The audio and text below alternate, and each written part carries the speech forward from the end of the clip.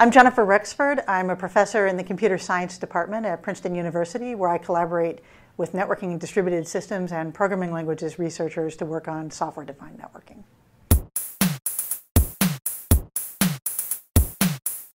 So, software defined networking is changing the way we design and manage networks by having a logically centralized controller that can run arbitrary programs that speak to the underlying network of switches using an open API to the packet forwarding logic, like the OpenFlow standard developed at Stanford.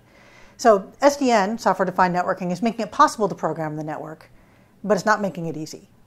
And so the problem we're addressing in our work is what are the kind of programming abstractions that would allow sophisticated applications to be developed and composed out of smaller modules running on top of a standard platform. And so our project is called Frenetic, and it's a joint effort between Cornell and Princeton involving networking researchers working together with people in distributed systems and programming languages to help identify powerful reusable abstractions for building sophisticated controller applications. So if we succeed, what we enable is for people not to build just one controller application that's tightly integrated with the controller platform, but instead enable essentially an app store of applications that can be built and combined together on top of a software-defined network.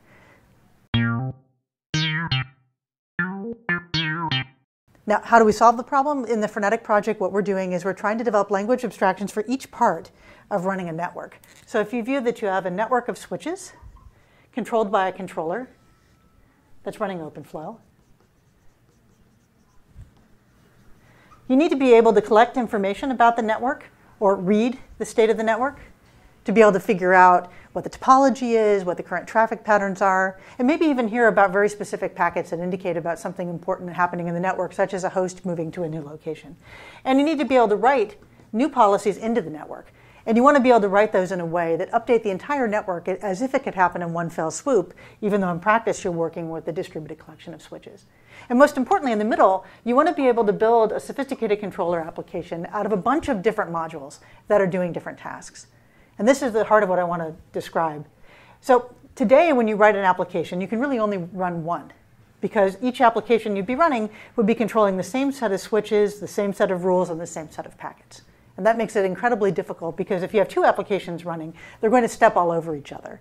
The rules installed by one application will overwrite the rules installed by another, or worse yet, do something that's actually in conflict with what the other application is trying to do.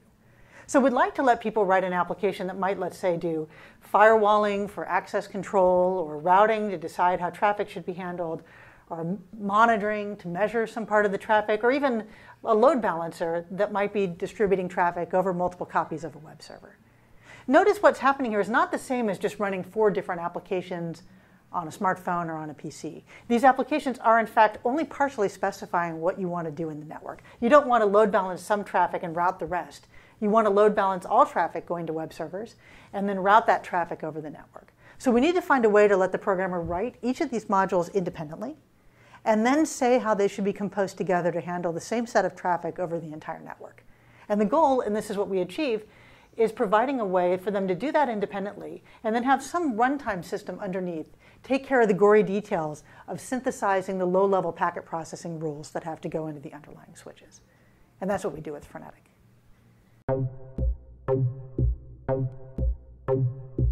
Next step once you have a set of programming abstractions that allow you to query the network, compose applications out of multiple independently written and reusable modules, and update the state of the network. The next question is how do we actually create a community of developers that can build applications on a platform like this? Today, we have network practitioners who, for the most part, don't write software, and software developers who, for the most part, don't know a lot about how networks work. And so, one big challenge for the SDN community as a whole is to develop a developer community that can make use of this and other platforms. And the second thing is to be able to enable, enable, us to do more than just control the network, to be able to integrate with things like the servers running in data centers and the applications running on them to really orchestrate a wide range of services for which the network is just one part of the underlying infrastructure.